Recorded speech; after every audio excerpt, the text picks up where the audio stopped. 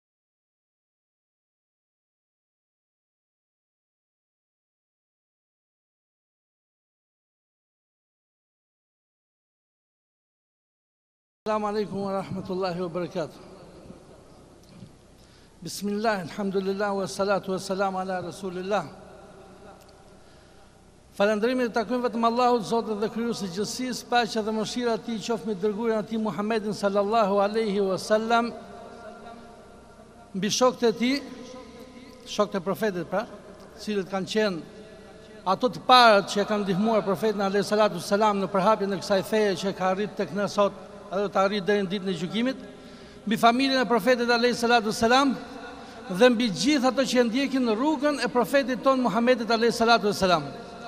E lus Allahun të na falë edhe neve dhe juve dhe gjithë besimtarët kudo që janë dhe falënderimet Allahut azza wa jall që na mundësoi takohemi sot këtu në këtë xhami dhe kjo është një mirësi e madhe që Allahu na ka bërë neve musliman Dhe nuk ka mirësi më të madhe se sa të jesh musliman, pastaj është një mirësi e madhe që Allahu Azza wa Jall na ka lënë neve deri në këto momente që të jetojmë, që të kemi mundësi t'i kërkojmë falje, pendohemi tek Ai, që të afrohemi sa më shumë, të fitojmë kënaqësinë e Allahut Azza wa Jall edhe inshallah më mbrapa Xhennetin e Allahut, me dashtë Allahu.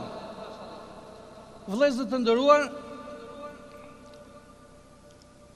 Islami si një fe e paqes dhe e mëshirës që është dhe feja e vetme që Allahu Azza wa Jall e ka përzgjedhur për robërit e Tij dhe është i kënaqur për këtë,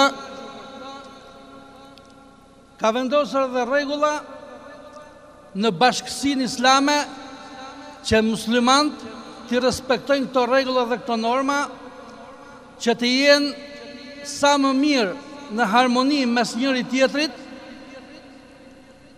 dhe të kenë afrimitet me njëri tjetrin dhe ta respektojnë njëri tjetrin. Për këtë arsye, pejgamberi sallallahu alaihi wasallam Në një hadith të madh të cilin ne do ta komentojmë inshallah sot në rast se don Allahu azza wa xhel, na këshillon për disa të drejta që ka muslimani kundrejt njëri tjetrit. Pra të drejtat që kemi ne ndërmjet veti. Të drejtat që kam unë tek ti dhe të drejtat që ke ti tek unë. Janë gjitha drejta reciproke për sa i përket të drejtave. Në një hadith që transmetohet nga Ebu Hurejra radijallahu anhu thuhet se Pejgamberi sallallahu alejhi ve sellem ka thënë: Hakul muslimi alal muslimi sittun. Të drejtat e muslimanit ndaj vllait tij musliman janë gjashtë. Mbani mend. E drejtat, të drejtat që ka muslimani ndaj muslimanit janë gjashtë.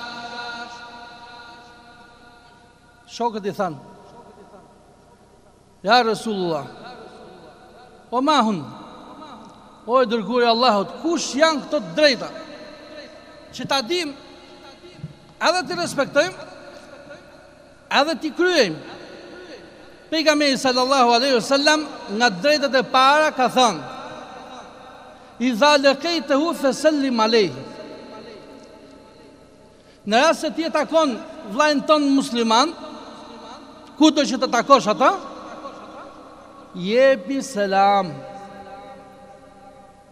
Pra thuje selam aleikum wa rahmatullahi wa barakatuh, do t'i shpjegojmë format e selamit.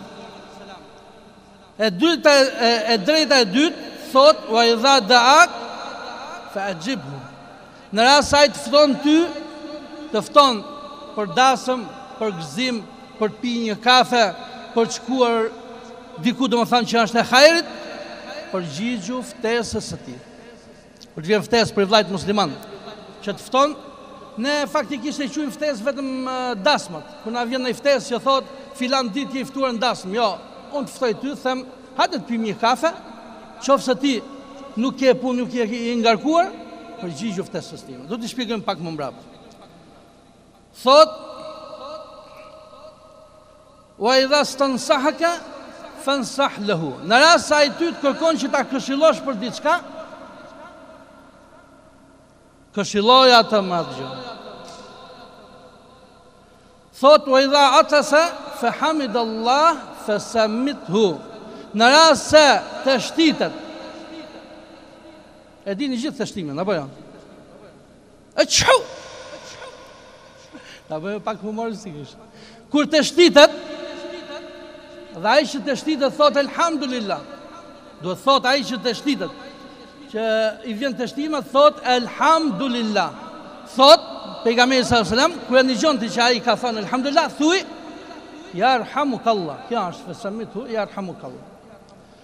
Që do thotë, Ai thotë, Falënderimet i takojnë Allahut, dhe ti i thu', Zoti të mëshiroftë. Thotë, Wa idha merida fa'udhu dhe në rast se ai smuret, vizitoje gjatë kohës smundjes, wa idha mate dhe në rast se vdes, përcille xhenazen e tij deri në fund që ta varrosësh. Këto pra janë të drejtat e muslimanit ndaj muslimanit, t'i themi edhe një herë? Kush ishte e drejta parë? Kush do ma thotë?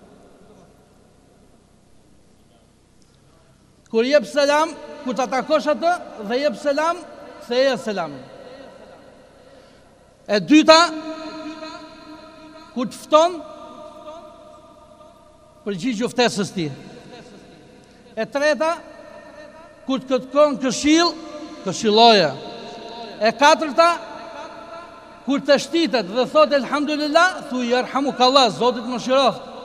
E pesta, kur smuret, vizitoje. E gjashta, Kur vdes, Allahu inshalla gjithve na e përfundon me përfundim të mirë, gjithve na jep jetë të gjatë, gjithve inshalla na ruan nga çdo gjë e keqe, po inshalla përfundimin na e bën të mirë me shahadet, kur vdes, se kjo është një gjë që gjithë do kalojmë. Asht si puna kësaj derës që hymë edhe erdhëm në xhami, kështu është edhe vdekja. Kur vdes, falja xhenazen dhe përcille për n'varreza. E para vëllezër të nderuar ishte pra selami, për selamin ka rregulla të shumta, vijnë edhe në Kur'an, kur Allahu Azze wa Xhell na këshillon neve kur thotë, Në rast se ju përshëndet dikush, në rast se ju përshëndet dikush me përshëndetje, këtu bëhet fjalë për përshëndetje islame, ktheje atij me një përshëndetje më të mirë. Ose e fundit, e fundit, ktheje ashtu siç ka thonë. Kjo është ajet kuranor, që na thotë Allahu. Ça domethonë kjo? Kur mua më thotë dikush esselamu alejkum, Allahu thotë, ti, thuaj, wa alejkum selam wa rahmetullahi wa berekatu. Kjo është ma e mira, ma e plota, se do ta shpjegojm pak më mbrapa. Por, në rast se unë nuk ia them atij të plotë, Wa alejkum selam wa rahmetullahi wa berekatuh, thotë Allahu, Ktheni ashtu siç ua ka dhënë. Më tha Selam alejkum, më e pakta thuj Wa alejkum selam. Kjo është më e paktë. Ndërsa format e dhënies së selamit janë tre vëllezër. Tre. E para thuhet selamu alejkum, që do të thotë paqja e Allahut qoftë mbi ju. E dyta, Esselamu alejkum wa rahmetullah. Dhe forma e tretë, që është dhe më e plota, Esselamu alejkum wa rahmetullahi wa berekatuh. E para do të thotë selam alejkum paqja e Allahut qoftë mbi ju. E dyta paqja e Allahut dhe rahmeti i tij qoftë mbi ju. E treta paqja, mëshira dhe begatitë e Allahut qofshin mbi ju. Ka ardhur një person tek pejgamberi sallallahu alejhi ve sellem në xhaminë e profetit alejhi salatu wassalam dhe ju ka thënë Esselamu Alejkum Ia kanë kthy përgjigjen Dhe profeti sallallahu aleyhi vësallam ka thonë dhjetë Ka ardhë një tjetër mbas atij dhe ka thonë Esselamu Alejkum wa rahmetullah E ka shtuar edhe, edhe këtë Pejgamberi sallallahu aleyhi vësallam ka thonë njëzet Ka ardhë një i tretë dhe ka thënë, Esselamu alejkum wa rahmetullahi wa berekatuh. Pejgamberi sallallahu alejhi ve selam ka thënë tridhjetë. Këtu është fjala që ky personi që e dha selamin e plotë i mori sevapet e plota. Mori tridhjetë të mira. Tridhjetë mira, sepse në Islam, siç e dini, çdo vepër shpërble e mirë shpërblehet nga dhjetë deri në shtatëqind, ndërsa në Ramazan ka tjetër kufi, nga dhjetë shtatëqind e më shumë. Në Ramazan vetë Allahu azze wa xhell i shënon, nuk ia len as melajkëve që i ka caktu me shënu me shënu, po shënon vetë, pse shënon vetë që të shënojë sa të dojë nga bujaria, nga mirësia, nga ajo që ka Allahu azze wa xhell. Pra thotë Pejgamberi sallallahu alejhi ve sellem, ai që e dha selamin e plotë mori tridhjetë. Nga rregullat e selamit është që kur dikush i thotë tjetrit Esselamu Alejkum, ai t'ia kthejë të plotë, thotë Wa Alejkumus Selam wa Rahmetullahi wa Berekatuh. Sa më shumë thoni vëllezër se selami ka shumë mirësi, selami afron zemrat e muslimanëve. Prandaj pejgamberi sallallahu alaihi wasallam një hadith thotë, a doni që t'ju tregoj me diçka që në rast se ju e bëni atë do të duheni mes vetes. Thotë, Wallahi la tedkhulul jenne, për Zotin nuk do të hyni në xhennet përderisa të duheni me njëri tjetrin. I than shokët ja Resulullah.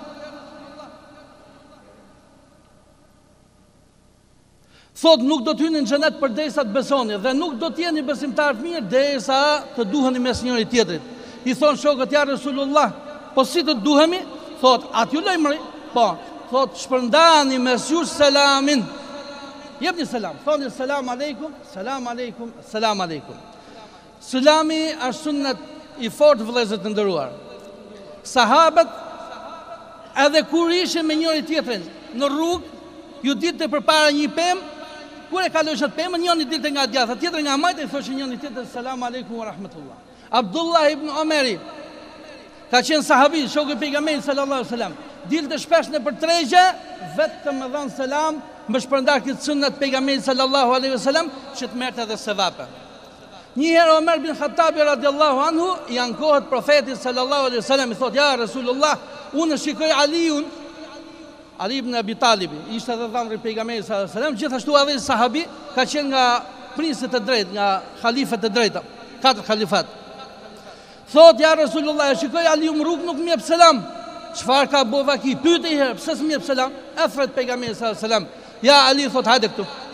Pse nuk i jep selam Omerit kur e takon n'rrugë thot ja Resulallah thot për Zotin e madh nuk e kam thot që nuk i jap selam po e lej thot që Omeri ta vazhdojë i pari me selam sepse të kam nigju ty që ke thanë ai që e vazhdon i pari me selam ka shpërblimet më të mëdhaja unë du që këto shpërblime t'i marri vllai im Omeri edhe e lej që ai të më thotë selam alejkum edhe kjo bëhet uaxhib mbi mu dhe unë jam i detyru me ja kthy patjetër do t'ja kthej them ja kthej selamin Kjo vllezër që në krijimin e njerëzimit asht ky selami edhe që në krijimin e krijesave por babai jonë Ademi alejhi salatu ve selam kur e krijoi Allahu azza wa jall i tha ja Adem masi i futi shpirtin tha ja Adem shko tek ai grup melajkësh shikoi ata shko tek ai grup melajkësh dhe jepja përshëndetje ata shkoi Ademi alejhi salatu ve selam përshëndetje e paqe i tha paqe e Allahut qoftë mbi ju selam aleikum selam aleikum Dhe melajket në të njëjtën kohë ia kthyen dhe shtuan, thanë, Wa'alejkum selam, apo Wa'alejke selam, se ishte vetëm Ademi, Wa rahmetullah, Allahu azze wa xhel i tha, Adem, kjo do të jetë përshëndetja jote dhe e pasardhësve tuaj. Ne jemi pasardhësit e Ademit alejhi selam. Përshëndetja e Xhennetit, se në Xhennet, ato që do futen në Xhennet, do t'u thuhet Selamun Alejkum, futni ju me selam e me mëshirën e Allahut, me begatitë e Allahut Azza wa Jall, edhe do të jetë përshëndetje e banorëve të Xhennetit. Edhe ato të cilët do të hyjnë në Xhennet, melajkët i presin tek dyert dhe i përshëndesin me selam që të hyjnë në paqen dhe mëshirën e Allahut Azza wa Jall. Sa kemi ne sot nga vëllezërit muslimanë që kalojnë rrugës edhe e majnë kokën shtrëmbur nuk japin selam? Ai i prishet puna atij tjetrit pse s'i dha selam jo për Zotin. Por është një hadith i Pejgamberit sallallahu alejhi selam që thotë Nuk është prej umetit tim, nuk është prej meje ai i cili i man inat vllajt vet ma shumë se tre, tre ditë. Mas tre ditësh muslimani sido që të jetë E e e shun inatin. Kush ja shun atij? Ja shun besimi, ja shun dashuria për Allahun. Ja shun ajo që ky vllai edhe ai vllai janë të dy që falen për Zotin Azza wa Jall.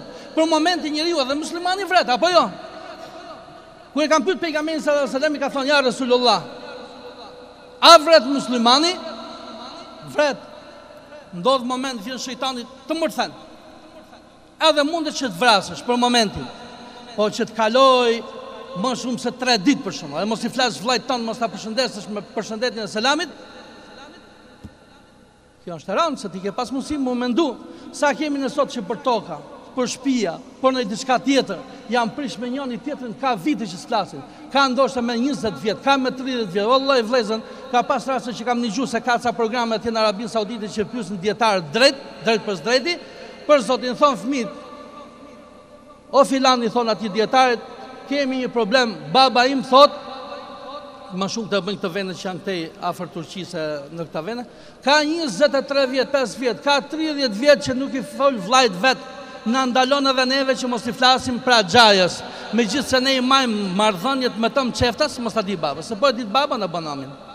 Ku jemi ne këtu, si jemi ma në kohën e xhahilijetit, jemi Në Islam, vllain tonë musliman e ke musliman, duaja e muslimanit për muslimanin pranohet, e kështu që duhet të kemi kujdes në këtë temë. E para, e dyta, ka ngel gjë nga koha, Juli. E dyta nga këto kushte, pra nga drejtat ishte në rast se dikush të fton për një gosti, duhet që ti t'i përgjigjesh gostisë ftesës atij personit. Por me një kusht. Që ti, në rast se dikush të fton, kushdo qoftë ai i afërti jot, në rast se të fton diçka që është haram, nuk duhet që të shkosh.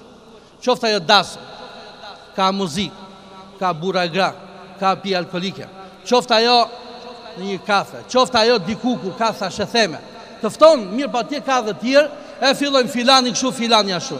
Ditën e kiametit, edhe ty do të merren sevapet, Se ke qenë pjesëtar aty ku shahet dikush nga vëllezërit e tu musliman dhe nuk të ka lujt qerpiku, keni kalu kohën duke marrë nëpër gojë hoxhallarët, duke marrë nëpër gojë dijetarët, duke marrë nëpër gojë mësuesit, duke marrë nëpër gojë muslimanët e mirë, sepse ato janë që ju mësojnë. Ndonjani mund të thotë që a ka shkojmë po ka ndonjë mangësi, ashtu të duket ty shumë. Se ne i shikojmë shumë nga xhematet, ju duket sikur ka shumë mangësira tek thirrësat, ke prijësat, ke ata, faktikisht nuk është e vërtetë.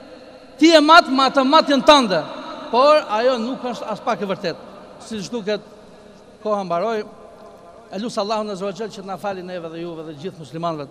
Na i fali gjynahet dhe gabimet, të na bashkojë neve me të mira si në dynja dhe në ahiret, kështu siç na ka bashkuar sot në këtë xhami këtu për të falur ditën e xhuma, e lusim Allahun azza wa xhel që të na bashkojë neve në xhennetet e tij edhe të na bashkojë me profetin salallahu alejhi wa selam dhe me sahabet, wa selam alejkum wa rahmetullahi wa berekatuh.